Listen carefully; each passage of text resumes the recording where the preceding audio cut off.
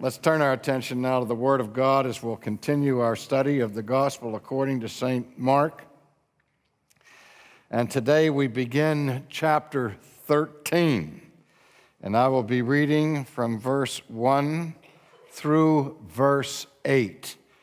Mark chapter 13, verses 1 through 8, with no guarantee that I'll be able to cover all eight verses in this morning's sermon. So I'd ask the congregation to rise for the reading of the Word of God. Then, as he went out of the temple, one of his disciples said to him, Teacher, see what manner of stones and what buildings are here. And Jesus answered and said to him, Do you see these great buildings? Not one stone shall be left upon another that shall not be thrown down. Now, as he sat on the Mount of Olives opposite the temple, Peter, James, John, and Andrew asked him privately, Tell us, when will these things be? And what will be the sign when all these things will be fulfilled? And Jesus answered them, began to say, Take heed that no one deceives you.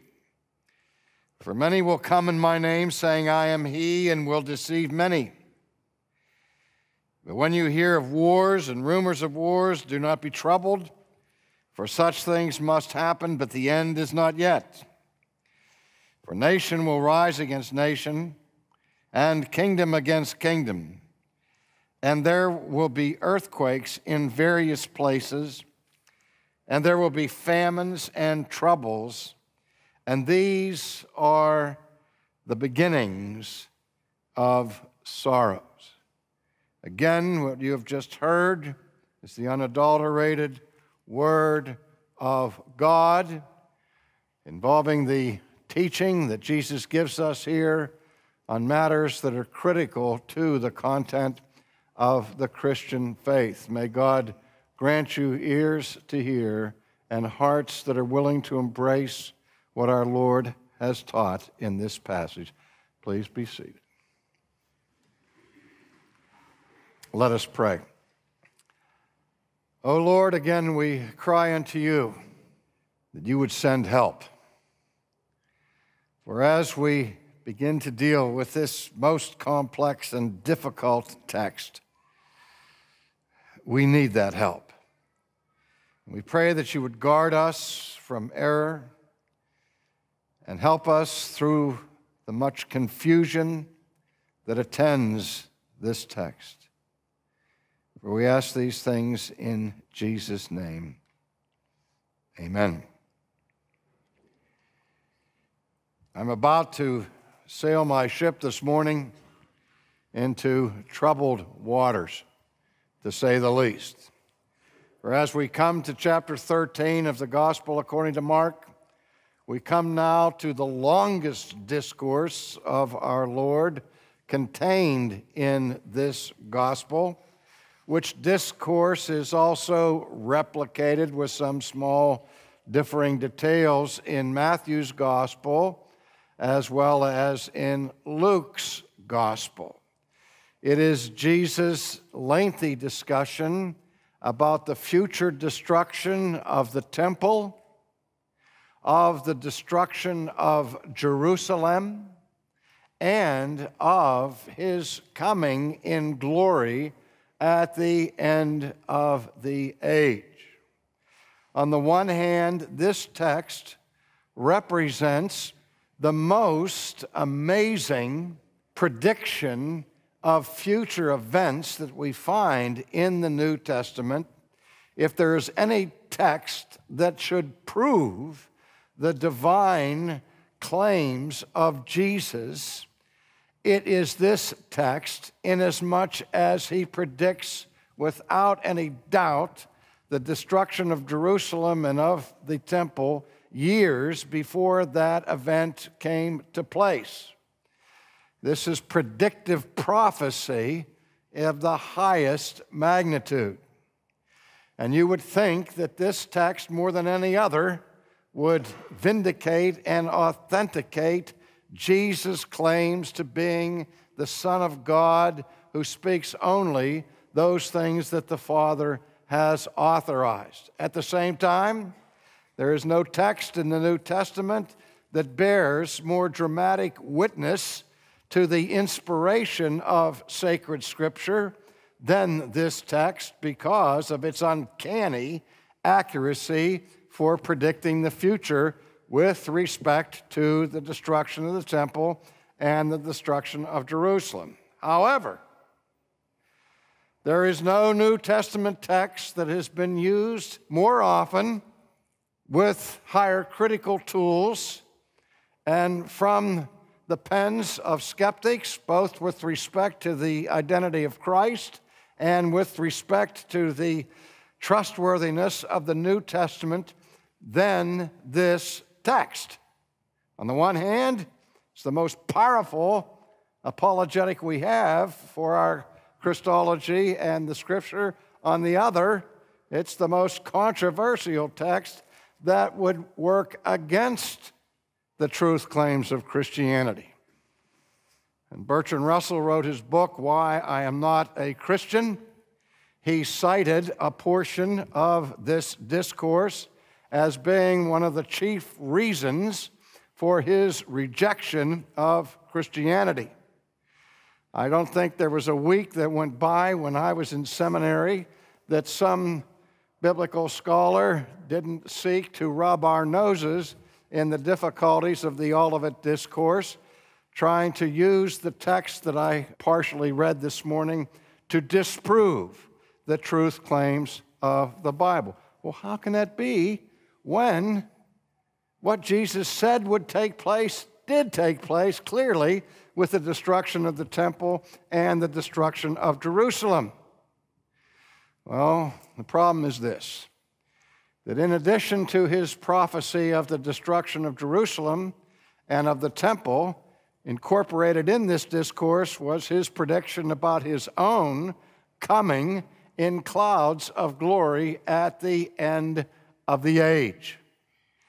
And the problem is this that as we will see when the disciples asked for the time reference of these things, Jesus here and also in Matthew's gospel makes the assertion that that generation would not pass away until all of the things included in this discourse came to pass, which would include his coming in clouds of glory. Bertrand Russell says, See, Jesus said that he would come back within the course of one generation, and he failed to do it. So, as amazing as the destruction of the temple was and the destruction of Jerusalem, the credibility of Jesus and the credibility of the New Testament collapses with the time frame reference by which Jesus predicted his coming in glory. I have to say that, in my estimation, conservative Christians, evangelical scholars who have struggled with the tension of this text, for the most part, fail to feel the real weight of this problem. I think it's the most weighty problem that we have in the New Testament with respect to the truth claims of the nature of Christ and of Scripture. So when I say we're sailing into troubled waters, we are sailing into troubled waters indeed. And I'm not sure, and I have to say this up front, how to handle all of the difficulties that present themselves in the Olivet Discourse. I have written an entire book on the matter in which I present a minority report of a very small minority report, I should add, on how I approach this particular portion of Scripture. But again, as we look at it in the weeks to come, let us understand that we're dealing with a very complicated matter here and one that touches the heart of the church's confession. We read the Nicene Creed today, and as the Apostles' Creed affirms, so does the Nicene Creed affirm that we believe not only in the death of Christ and in the resurrection of Christ, but we believe in the future coming, in the return of Christ in glory to consummate his kingdom. So, given those professions of faith, what do we do with this? In the critical theories of our day, much attention has been given to what has been called a postponement theology, or the story of the parousia delay, that is, the delay of Jesus coming in glory. And the critical scholars say that later on in the New Testament, in Paul's epistles, for example, you already begin to see the church falling back to punt. It's fourth down. Jesus hasn't come in the time frame that everybody expected him to come. And so the New Testament had to revise its future expectancy of the return of Christ. Now, all of that's background for the problem. And now I want us to take the time to look at the text itself. And as we do through the coming weeks, when we see these problems that are so painful, I will endeavor to point them out and by God's grace give some optional ways to resolve the difficulties. Chapter 13 begins then that as he went out of the temple, one of his disciples said to him, Teacher, see what manner of stones and what buildings are here.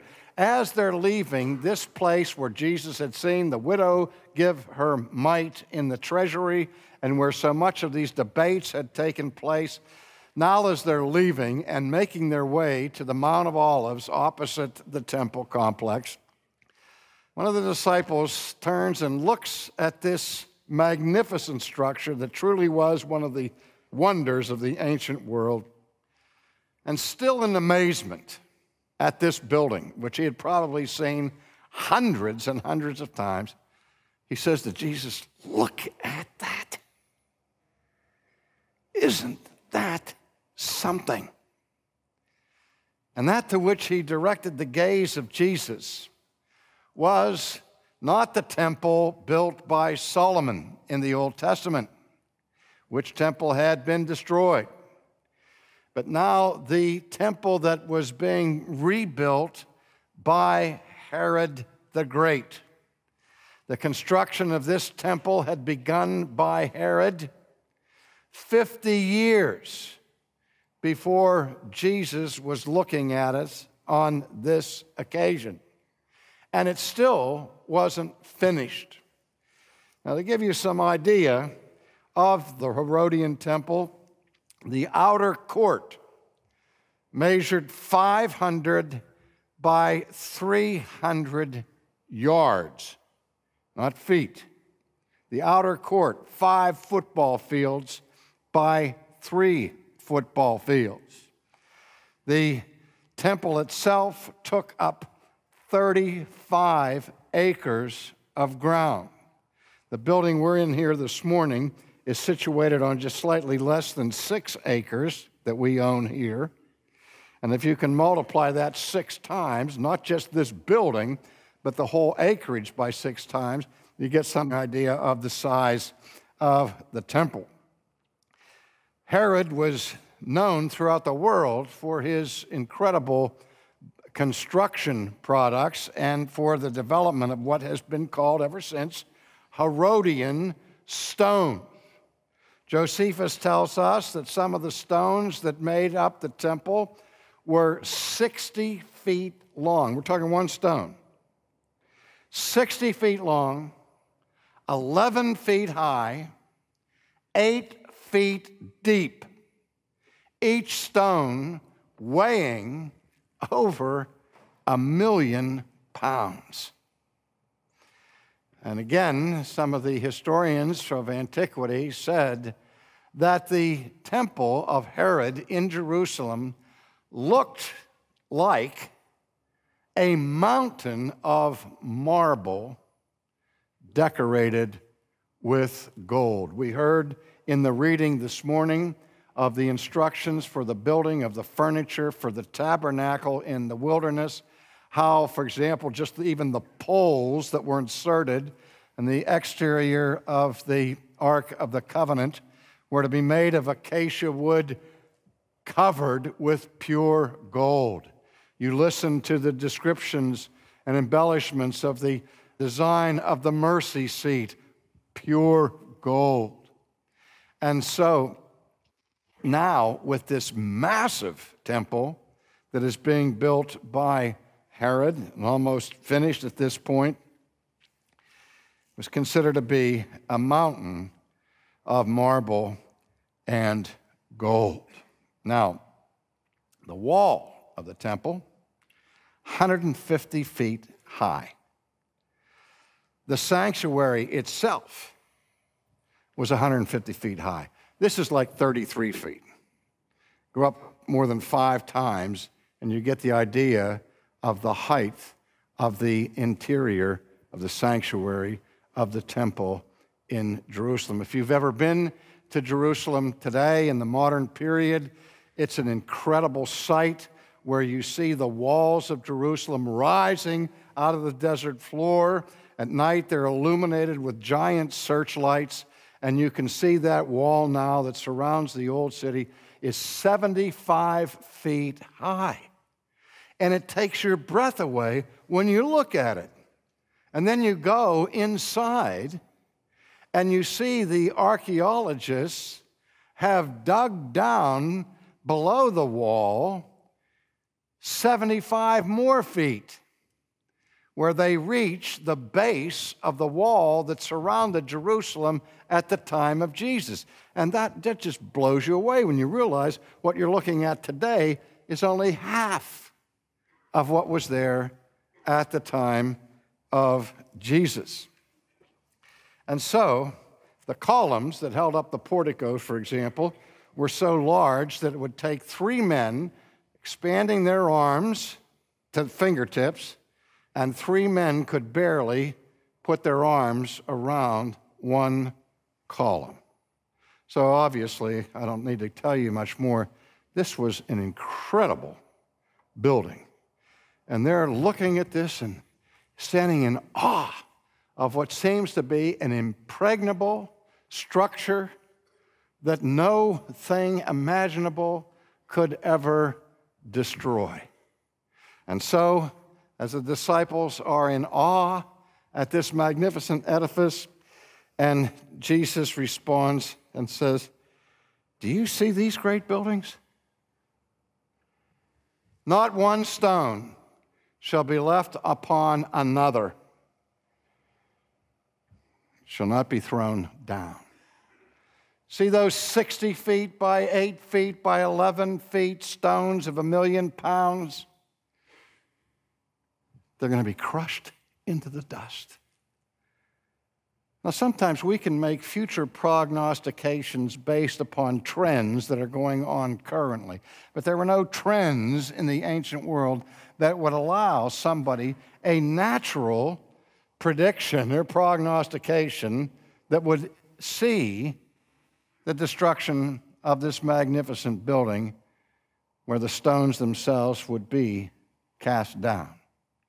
Indeed, in the future history, would take the full measure and magnitude of the entire power of the Roman armies to bring this prophecy to pass. Now they reach the Mount of Olives and as he sat on the Mount of Olives opposite the temple, Peter, James, John, and Andrew asked him privately. Now, here's where we begin to get into some trouble. Because the questions that the disciples brought to Jesus about his prediction of the destruction of the temple was this Tell us, he said, when will these things be? And what will be the sign when all of these things will be fulfilled. Now, there, there's a phrase here that we have to take note of because it occurs throughout the Olivet Discourse, and it is the phrase, these things, tauta, and the phrase, when will be the sign that all these things, tauta panta, all of these things shall come to pass? Two questions here. When and what will be the sign that it's about to happen? And so when we read the response of Jesus to this, let me ask you to do something. Try to imagine that you're one of the disciples who's just asked that question. Jesus has made a specific prediction about the destruction of the temple. And now they say, when? That's a straightforward question, isn't it? And what will be the sign? The outward manifestation that all of this is about to happen. They're asking about the signs of the times. They're asking about the signs of the fulfillment of this prophecy, which, as we will see later, includes Jesus' prediction of his return in the clouds of glory.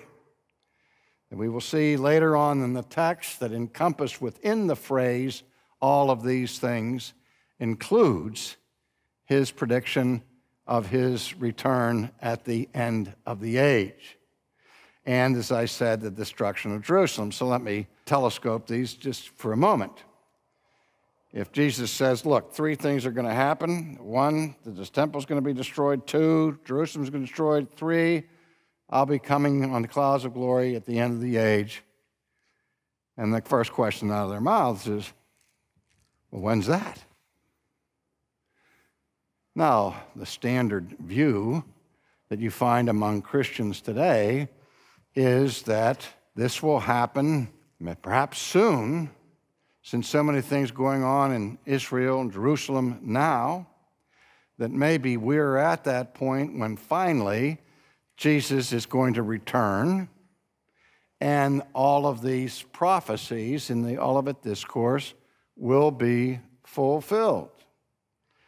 It's a long time past the demise of that first generation, but um, again, imagine yourself in the disciples' shoes, and they say to Jesus, When are these things going to take place?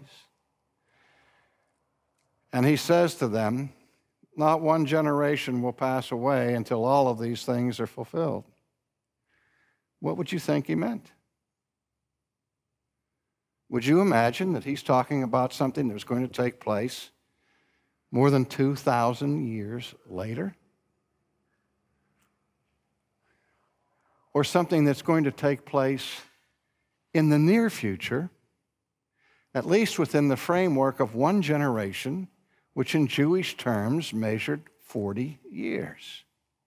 Elsewhere, in similar predictions, Jesus says, You will not go over all of the cities of Israel until you will see the kingdom of God coming in power. Elsewhere, he says, Some of you will not taste death until all of these things are fulfilled. If you look at those three texts together, as critical scholars do, and as Bertrand Russell did. It says it's clear that Jesus taught and expected the consummation of his kingdom to occur within a time frame of 40 years. Didn't happen. So here we are trying to dig up his bones and the bones of Mary Magdalene. Well, let's look at how Jesus answers their very straightforward question. Jesus, answering them, began to say, Take heed that no one deceives you. So, the first thing he warns them about is deception. They ask, When are these things going to take place? He said, First of all, you have to be careful because there will be attempts to deceive you about these matters. So be careful. For many will come in my name, saying, I am he, and will deceive many. So, the first sign that he gives of the fulfillment of his prophecy is the sign of false messiahs that will come.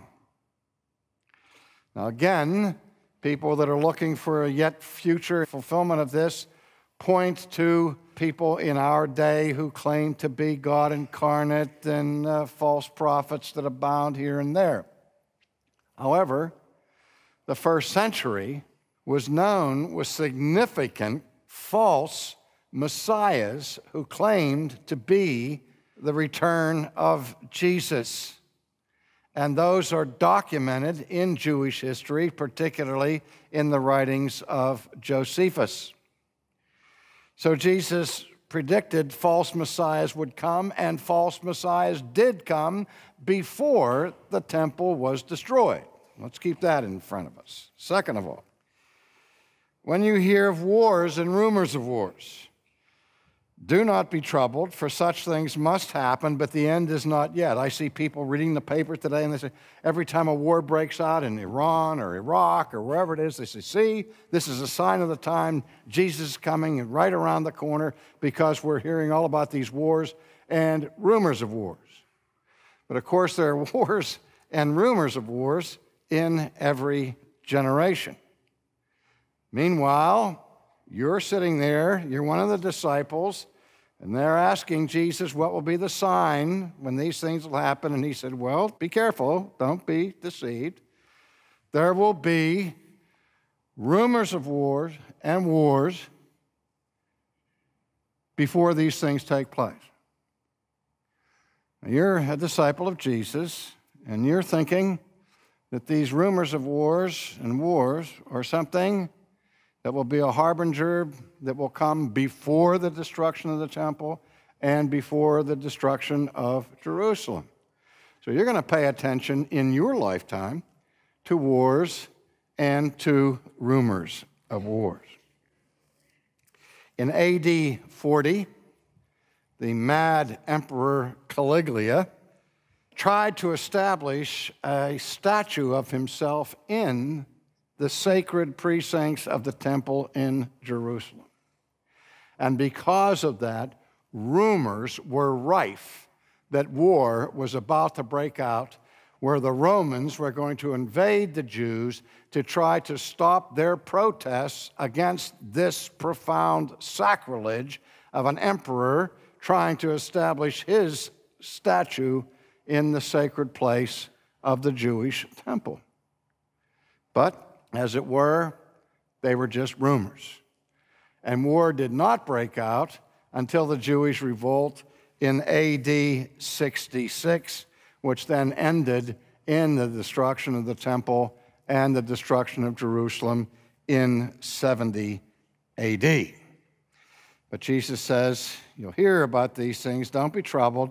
Such things must happen, but the end is not yet. For nation will rise against nation, kingdom against kingdom, and there will be earthquakes in various places, and there will be famines, and there will be troubles, and these are just the beginning of sorrows. so, again, today, modern prognosticators who are looking for the return of Jesus anytime in the next few weeks call attention to the serious famines that affect the world in our day. Famines that have broken out in uh, Armenia, famines that have taken such a tremendous toll in Ethiopia and other nations in Africa in our time. Yet at the same time, in between the years 41 and 54 AD, during the reign of Claudius, who came after Caligula and before Nero, there were several serious famines that affected the Near Eastern community. Also, a tremendous earthquake hit the region of Phrygia in the year 61 AD and leveled the city of Pompeii in the year 63. So, in that time frame of the first generation, terrible famines, wars, rumors of wars, and earthquakes all took place in the lifetime of most of the surviving disciples and apostles. The historian, the ancient historian Tacitus, records in great detail manifold disasters that took place between Jesus' prediction of this destruction and the actual destruction of the temple in 70 AD, which leads me to conclude that when Jesus is talking about the signs here that have to take place before the end actually occurs, those signs that are just the beginning of sorrows, I believe our Lord was calling attention to things that were going to happen in the first century, which in fact did happen in the first century. But the reason that we transfer them and transpose them to the yet unfulfilled future is because what didn't happen, apparently, was his return in the clouds of glory. So, do you see how this kind of squeezes and puts the pressure on our temples here as we seek to understand them? If we're going to look for the signs of the times, let's look first of all in the first generation. Now, let me just say one thing by way of anticipating how we're going to resolve this problem. I remember 40 years ago walking down a street in Wenham, Massachusetts, in a long, leisurely stroll with Dr. William Lane, who spent more than 10 years researching the scholarly work in interpreting the Gospel of Mark. And Dr. Lane, at that very time, was working on chapter 13 and working through this problem. And as we were talking, he became almost giddy because he felt that he had had an epiphany that explained these difficulties that we find in the Olivet Discourse tied into these phrases that I've already mentioned, all of these things. And of course, when his commentary was completed, he set forth that epiphany in it. And I remember 40 years ago being very excited. I'm thinking, hey, you know, I think you have something here, and this may be the solution to this awful problem. I don't believe that anymore. I'm, I'm not satisfied with that problem. Now, what usually scholars do is they talk about predictive prophecy that will have an immediate fulfillment as a type and then a later fulfillment in its full magnitude. And that's maybe what we have here in chapter 13. Or others have squeezed the text about this generation, and we'll look at that further when we get to it in chapter 13. But again, I have yet to find any explanation for all of these difficulties that totally resolves it, at least to my satisfaction. I hate to stand up here before you as your pastor and preach a sermon on, and not just one sermon, but many sermons on a particular text of Scripture where I end up saying, I don't know. I can give you some ideas. But before we try to solve a problem, it's absolutely essential that we understand the full measure of that problem. And that what we're dealing with here is something of the highest magnitude of importance for the credibility of Jesus and the credibility of Scripture. I'm much more concerned about that than I am to defend any particular eschatology or any particular millennial view. As you know, there are many of those that divide Christians and divide them seriously. But we'll look at these issues more thoroughly as the text progresses. Let's pray. Father, help us not to be dismayed by the difficulties that we read here, but nevertheless be overjoyed by the profound accuracy of our Lord's prediction of future things, and that our confidence may be full that everything that he said would take place indeed is spoken with utmost truth. We ask these things in his name. Amen.